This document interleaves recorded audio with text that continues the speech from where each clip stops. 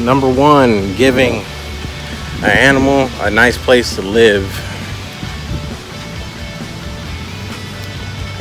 Some animals go through tough lives. Some animals get put down after about a week in the in the pound.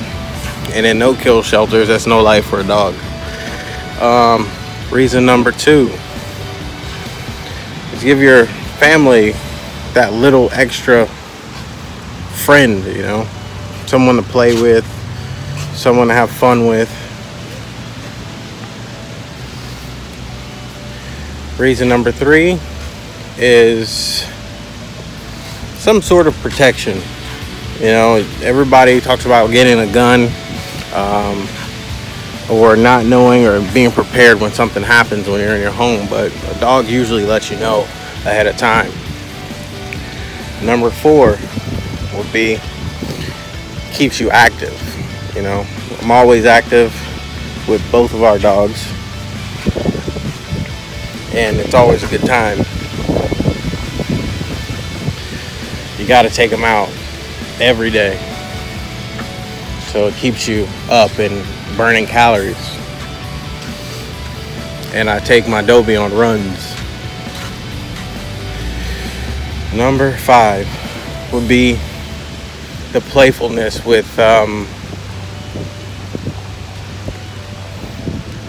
seeing my wife dress up both dogs on different holidays and noticing how people